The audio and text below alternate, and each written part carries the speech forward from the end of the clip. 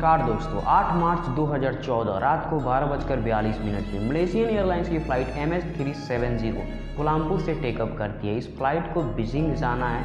इस फ़्लाइट के अंदर दो सौ सताइस पैसेंजर बैठे हैं। 10 फ़्लाइट अटेंडेंट्स हैं और दो पायलट हैं जो कि प्लेन को उड़ाने लग रहे हैं। एक तरफ़ है कैप्टन जहरी अहमद शाह, तिरपन साल के, जो कि बहुत ही एक्सपीरियंस हैं।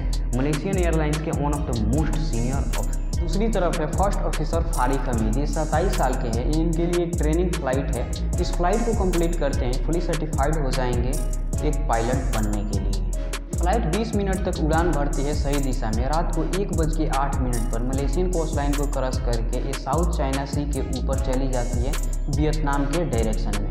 रिपोर्ट करते हैं, इस प्लेन का लेवल 3500 फुट पे है, सब कुछ नॉर्मल चल रहा है। इसके 11 मिनट बाद प्लेन पहुँचता है वियतनाम एयर ट्रैफ़िक जुरिडिक्शन के अंदर के बाद इस फ़्लाइट का कोई अता पता नहीं चलता ये मलेशियन एयरलाइंस की फ़्लाइट अचानक से गायब हो जाती है और बन जाती है दुनिया के सबसे बड़ी aviation mystery Breaking news tonight, a Malaysia Airlines flight. Malaysia Airlines flight MH370. Flight MH370 disappeared en route to Beijing.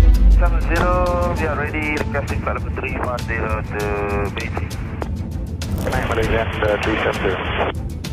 Flight M H three seven zero service के पहुँचने के 30 सेकेंड बाद एक प्लेन अचानक रेडार से गायब हो जाता है। उस समय टाइम हो रहा था रात को एक बजकर इक्कीस minute. Kuala Lumpur air traffic control वाले इस चीज़ को नोटिस नहीं करते और करते हैं तो उन्हें लगता है कि हमारे रेडार से बाहर चला गया होगा। दूसरी तरफ़ देखते हैं वियतनामी एयर स्पेस वाले। M S three seven zero हमारे एयर स्पेस में आया है, लेकिन वो अचानक से रेडार से गायब हो गया है। प्लेन से कम्युनिकेट करने की कोशिश करते हैं। लेकिन दूसरी तरफ़ से कोई जवाब नहीं आता। बार बार कोशिश करने के 18 मिनट बाद। अभी ट्रैफ़िक कंट्रोल वाले, कोल्हापुर ट्रैफ़िक कंट्रोल वाले को बता देते हैं कि आपका जो प्लेन है M S three seven zero अचानक से रेडार से गायब हो चुका है। सुबह के छः बज के बत्तीस मिनट हो चुके होते हैं। इस टाइम पे प्लेन को बीजिंग में लैंड कर देना चाहिए था, लेकिन वहाँ पे कोई लैंडिंग नहीं होती। इसके तुरंत बाद एक सर्च ऑपरेशन बुलाया जाता है।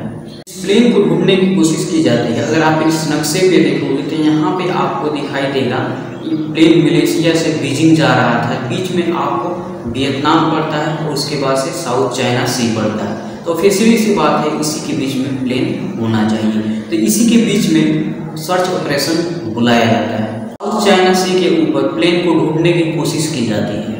लेकिन प्लेन का कोई नामो निशान नहीं मिलता। अगली सुबह 12 मार्च को खबर निकलती है ये प्लेन जो रेडार से गायब हो गया था। को दो बजकर बाईस मिनट में इसकी लोकेशन साउथ चाइना सी के ऊपर नहीं, बल्कि इसकी लोकेशन अंडमान निकोबार के आइलैंड के ऊपर बताई जाती है। इस फ़्लाइट का कोई अता पता नहीं चलता। ये मलेशियन एयरलाइंस की फ़्लाइट अचानक से गायब हो जाती है और बन जाती है दुनिया के सबसे बड़ी एविएशन मिस्ट्री। को दो बजकर बाईस मिनट पर इसकी लोकेशन साउथ चाइना सी के ऊपर नहीं, बल्कि इसकी लोकेशन अंडमान निकोबार के आइलैंड के ऊपर बताई जाती है। और इस मिलिट्री रेडार के अनुसार ये प्लेन अंडमान निकोबार के डायरेक्शन में जा रहा था। बीजिंग से बिल्कुल उल्टी तरफ़। ये खबर सुनकर हर कोई हैरान हो जाता है कि आखिर प्लेन गया तो गया क्या? बहुत लोग कहते हैं हिमालय की तरफ़ का राजस्थान में जाकर क्रैश हो गया होगा। कुछ दिनों बाद एक नया सबूत हाथ लगता है। सेटेलाइट डेटा से पता चलता है, ये जो प्लेन था, एक सेटेलाइट से कम्युनिकेट करने की कोशिश कर रहा था।